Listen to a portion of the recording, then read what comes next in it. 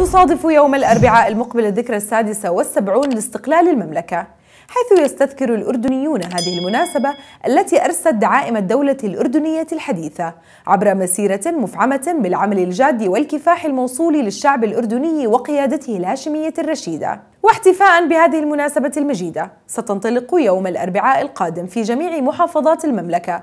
أنشطة وفعاليات متنوعة تستمر لثلاثة أيام حيث تشمل استعراضات فنية ووطنية وعروضا جوية تؤديها طائرات فريق الصقور الملكية.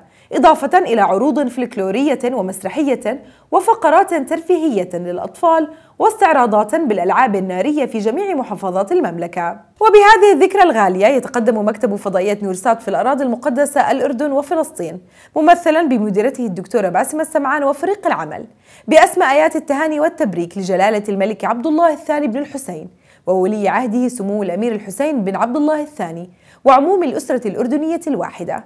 راجين الله أن يديم على بلدنا نعمة الأمن والسلام والاستقرار وأن يحقق لشعبنا الأردني التقدم والازدهار وكل عام والجميع بألف خير.